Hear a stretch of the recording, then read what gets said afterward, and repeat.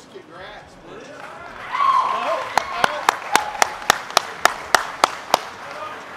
Yes, sir. 16 unit to take uh, in the quarterly is the same person. Really? 16. She took the first quarterly. Yeah, she should.